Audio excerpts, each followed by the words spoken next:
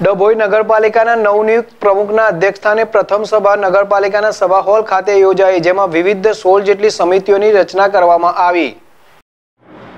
ડભોઈ નગરપાલિકાના પ્રમુખ બિરેનભાઈ શાહ અને ઉપપ્રમુખ મનોજ પટેલની વળની ગત બારમી સપ્ટેમ્બરે કરવામાં આવી હતી.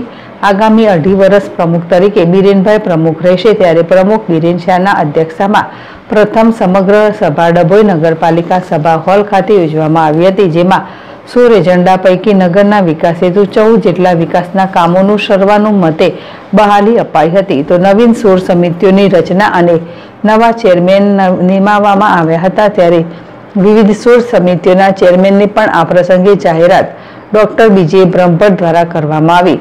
તો જેમાં નાના પંચના ચેરમેન પદે વિશાલભાઈ શાહ, કારોબારી ચેરમેન તેજલબેન સોની ડ્રેનેજ સમિતિના ચેરમેન સતીશભાઈ સોલંકી વારીગૃહ સમિતિના chairman Dakshaben Pareshbhai Rabari, town planning સમિતિના ચેરમેન મિતેશભાઈ એચ પટેલની નિયુક્તિ કરવામાં આવી.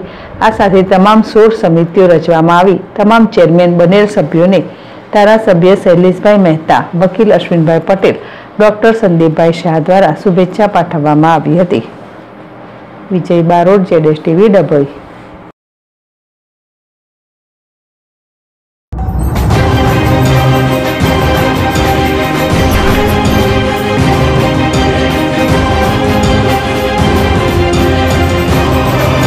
ગરબા રસિકો માટે ખુશખબર.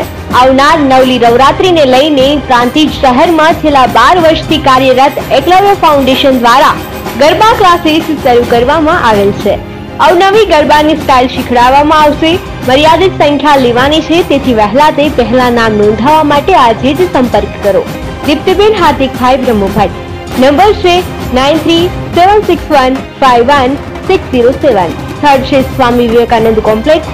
બીજો માળ સાખરિયા બસ સ્ટેશન પાસે પ્રાંતિજ જિલ્લો સાબરકાંઠા.